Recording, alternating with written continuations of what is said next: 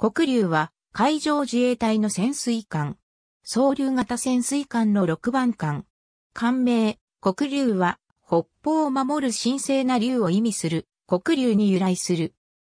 黒竜は平成22年度計画に基づく2900トン型潜水艦8121号艦として川崎重工業神戸工場で2011年1月21日に寄港され、2013年10月31日に命名、浸水、2014年8月22日に講師開始、2015年3月9日に収益し、第2潜水隊軍第4潜水隊編入された。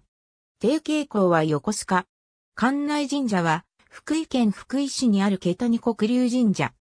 2016年8月23日、横須賀基地、いつみ岸壁において、稲田防衛大臣の初土視察を受けた。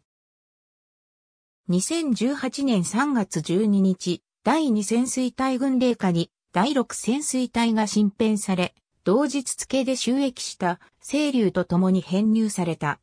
同年8月21日から11月17日までの間、米国派遣訓練に参加し、ハワイ諸島方面において洋上訓練及び施設利用訓練を実施する。